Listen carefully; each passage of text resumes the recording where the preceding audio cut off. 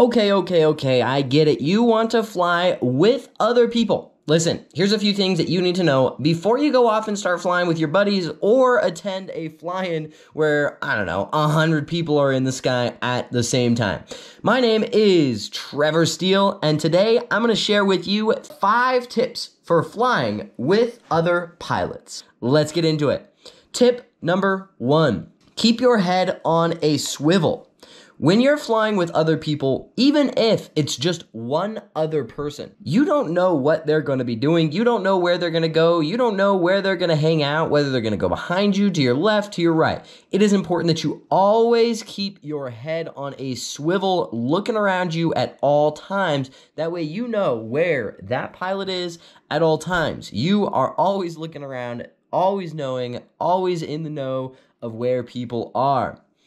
Tip number two look first, turn second. Before you make your turn, it's super important that you look over to the side, up to the side, down to the side, and around to the side before you make the turn.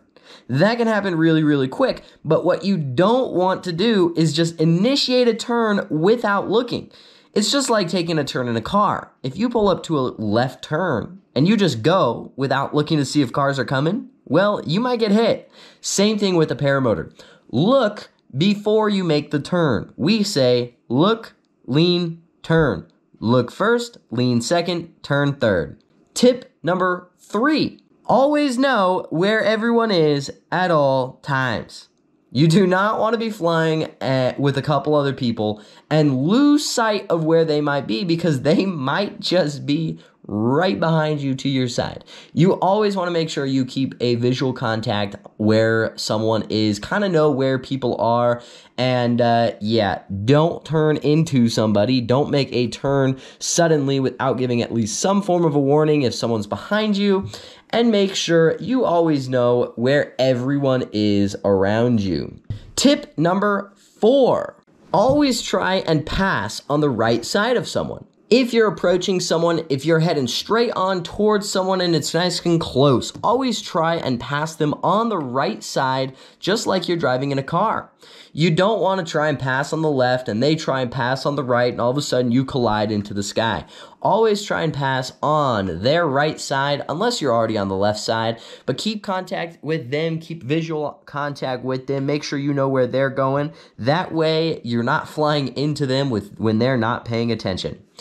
Tip number five give a warning before you turn. If you're flying behind somebody and you're watching their head, oftentimes they will look over to the side that they're about to turn at lean to that side, and then initiate the turn.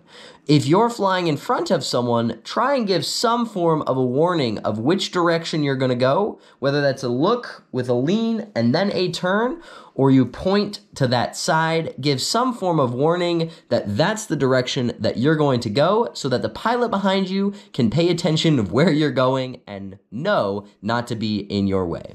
This is Trevor Steele, and thank you guys for watching. If you want to get into paramotors and learn how to fly the safest possible way while flying the safest possible equipment, check out flyflattop.com and come through Super Training, our 10-day paramotor training course down in Corpus Christi, Texas, where we teach you everything you need to know about how to fly a paramotor. Thank you guys for watching. I'll see you in the next video. Take care.